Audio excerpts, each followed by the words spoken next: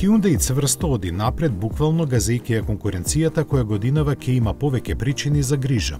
Корејците својата понуда ќе ја засилат со петата генерација на Santa Fe, која покрај со својот нов дизајн ќе го привлекува вниманието на купувачите и со зголемената практичност и хибридните погонски групи.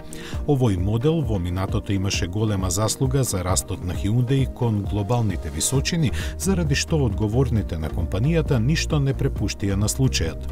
Исто Истото важи и за Ioniq 7, кој електриката како погонска сила ќе ја донесе во семејните кросоверски води. Конечниот дизајн се уште не му се знае. Треба да бидат ажурирани и неколку други модели, меѓу кои и малиот Бајон, кој се произведува во Турција ниту инженерите на Кија не беа мрзливи и од нив можеме да очекуваме неколку рестилизирани модели меѓу кои би го издвоиле Соренто. Внимание секако ќе привлече и Ева 9, а пресвртницата на марката кон електриката треба да ја поддржат и најавените Ева 3 и Ева 4.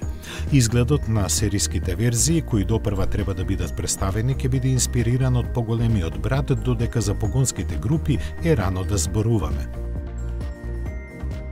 Јужнокорејскиот Сангјон, кој има нови собственици и ново име KG Mobility, го најави своето враќање на европскиот пазар. Адут на кој се полагаат големи, но сепак нереални надежи е електричниот Торес.